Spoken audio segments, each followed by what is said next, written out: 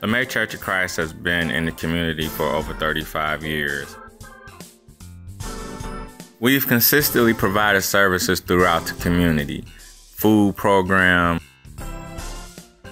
clothing room, worship services, Bible study.